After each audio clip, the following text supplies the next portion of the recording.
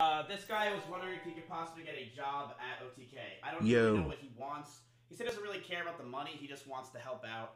Um, Okay, well, how much is he gonna pay us? Listen, I never said those things actually.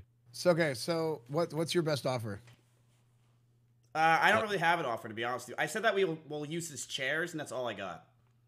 Well, what's his best offer? What's his name?